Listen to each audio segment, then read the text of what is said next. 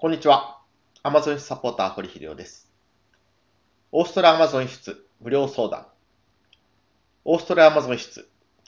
学歴も年齢も関係なく、どこでも稼げるスキルが身につきます。初心者向けの簡単な副業。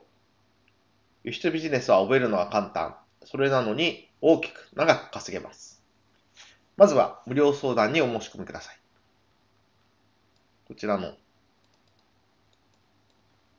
欄にメールアドレスを入力して、無料相談に申し込みをクリックしてください。10月31日まで無料相談受付中です。一足先にサポートを受けた会員さんの実績を紹介します。あなたも同じように稼げます。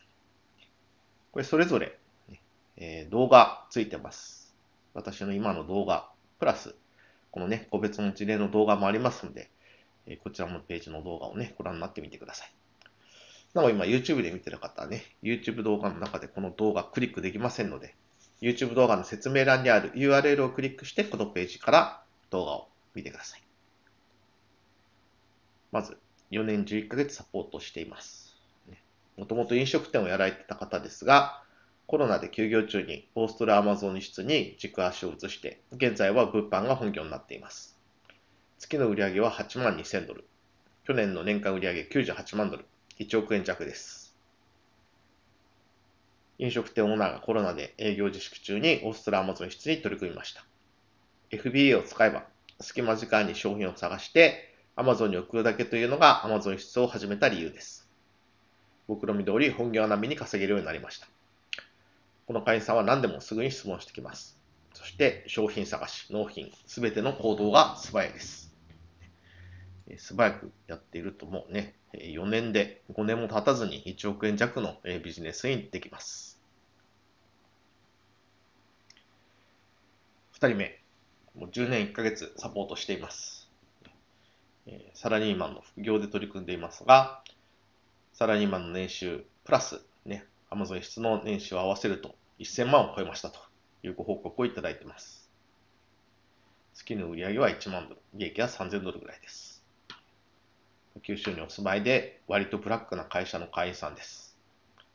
まあ、2013年にね、私が出版した本を読んだのがサポート開始のきっかけです。現在はこの会員さんも初心者向けのオーストラマズ室のサポートもしています。ね、私のサポートを受けて、この会員さんも他の人にサポートしているという形になっています。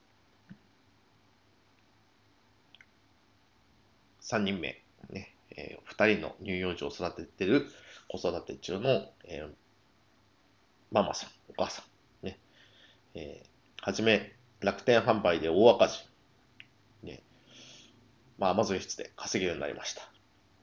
月売上1万ドル。子育てね、ちっちゃいお子さん子育てしながら、ね、稼いでるというのは本当すごいなと思います。実績4。こちらは休業中。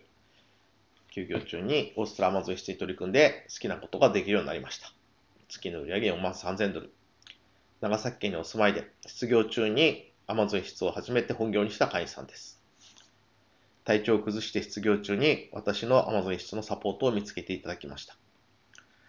直近の相談内容はね、以前からやりたいと思ってたことがあるので、現在の作業を極力抑えて、そっちに労力や時間を割いていいものかどうかご意見をいただきたいですということでね、二つやりたいことがある。一つは個人的に外国人向けの旅行ガイドやってみたいと思っていたので、英語の勉強や実際の稼働に時間を取っていいものか、お金にはならないと思いますと。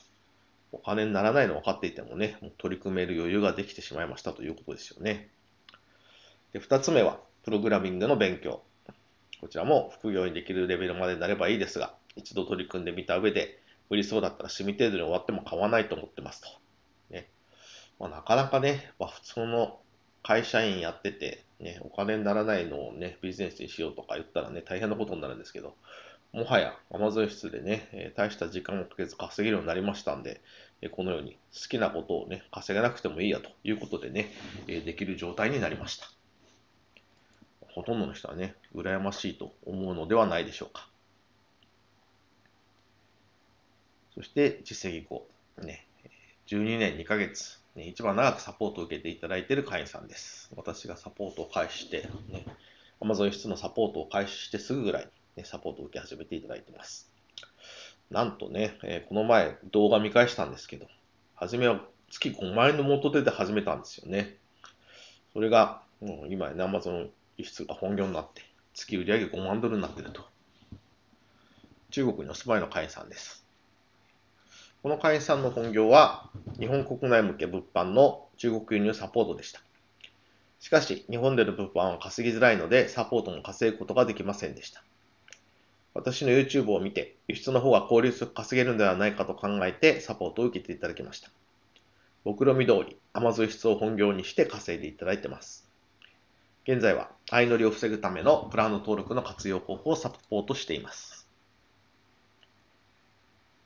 世界的に見て日本の物価は非常に安いです。物価の安い場所から物価の高い場所に物を動かすのが物販の原理原則です。日本に住んでるなら輸出ビジネスで稼がないのはもったいないです。まずはこちらにメールアドレスを入力して無料相談にお申し込みください。